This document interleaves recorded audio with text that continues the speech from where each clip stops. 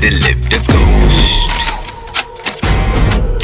He was known to be a killer and feared the most.